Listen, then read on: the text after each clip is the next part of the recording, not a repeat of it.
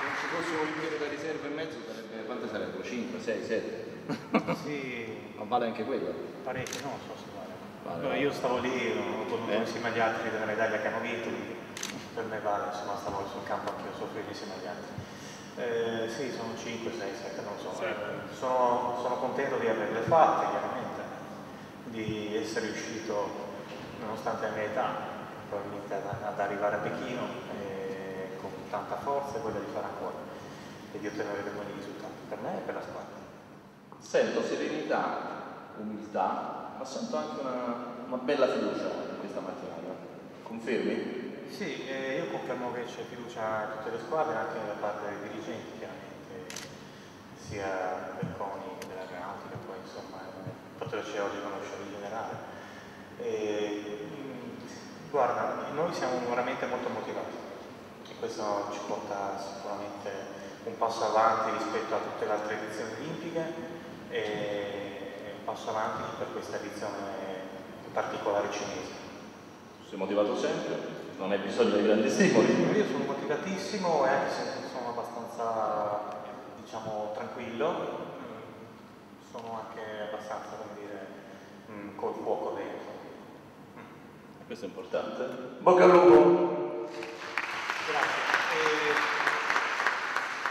Ultima cosa, visto che come ci avete, ci avete dato in bocca al lupo, volevo fare un bel crepe di lupo per tutti quanti.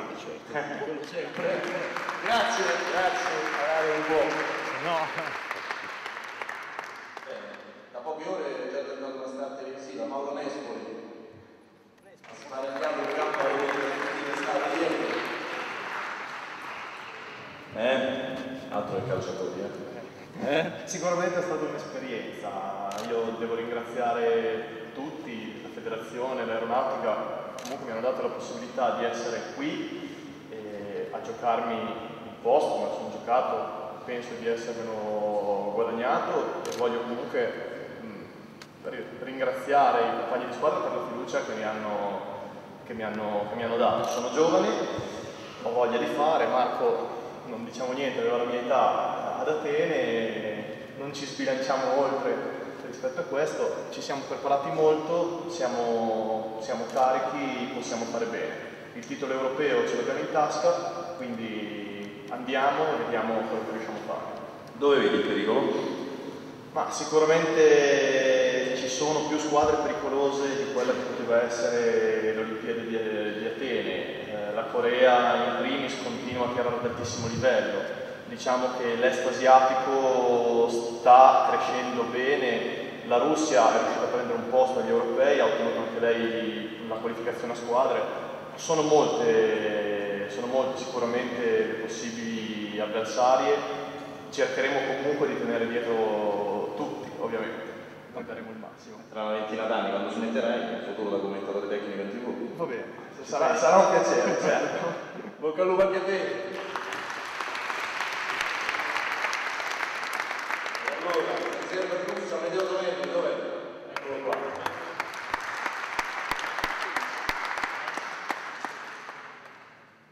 Eccoci. Eccoci qua. Allora, come diceva la tua collega, la riserva sta tranquilla, insomma, non fa macumbe, non fa niente. No, assolutamente. Il Serva è il primo tifoso della, della squadra. Eh, ho continuato a allenarmi, a tenermi in forma, sono assieme ai miei atleti, ai miei compagni di squadra. E se ci sarà bisogno di sostituzione sono pronto, eh, va bene così. Ce la siamo giocata fino alla fine. va bene. Ci siamo, insomma, il gruppo è saldo. Certo, certo, è stato bello anche questi dieci giorni che abbiamo passato in Sardegna assieme. Eh, Abbiamo fatto gli atleti, ma anche gli amici, è stato bello. Bocca al lupo. Bene. Marco Gagliazzo, Atene 2004, medaglia d'oro. Forse non lo fa. Eh? Forse pare. Eh? O tiri solo con l'arco? Vabbè, mi riesce meglio tirare con l'acqua. Avete visto che è un'intervista difficile? È complicata. Meglio che non parli. E vabbè, non parla, lo lasciamo concentrare, però vogliamo sapere tutte le cose da lui, poi lo rimandiamo ad allenarsi. Allora, questo è un gruppo di grande fiducia, un gruppo che è cresciuto molto, è un gruppo che facciamo tutti gli scontri di rito, ma può fare un grande risultato anche con la squadra. Sì, eh, sono ragazzi che sanno, sanno tirare bene e quest'anno cerchiamo di prendere medaglia squadra. L'individuale però l'abbiamo preso. Eh, ne prendiamo un altro?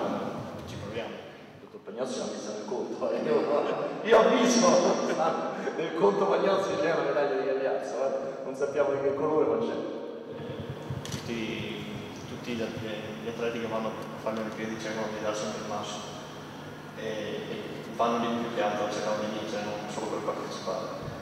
E quest'anno puntiamo anche alla squadra, cerchiamo di, abbiamo una, una forte squadra, cerchiamo di dare il massimo.